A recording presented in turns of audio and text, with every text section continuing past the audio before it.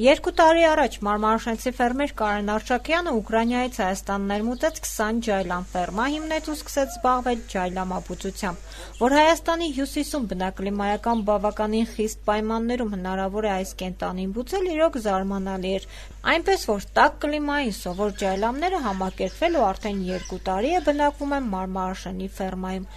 Ուտում են ամեն ինչ, հատկապես սիրում են ձեռքից կերակրվել: Հետաքրքիր է, որ այսպես ասած հայաստանցի ջայլամները սկսել են ավելի շուտ ձուածել: Կիլո 230 գրամ: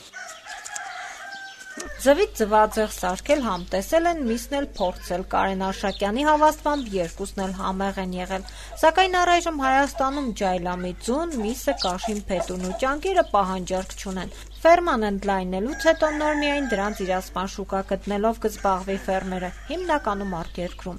Ջայլամի հետ կապված թեւավոր թերեւս ամենատարածված խոսքը ջայլամային քաղաքականությունն է, այսինքն՝ երբ ջայլամը գլուխն ավազի մեջ է թաղում ու ոչինչ չի նկատում: Համենայն դեպս երկու տարվա ընթացքում Կարեն Արշակյանն այդպես էլ չի տեսել, որ ջայլամը գլուխն ավազի մեջ գոնե մեկ անգամ թաղի: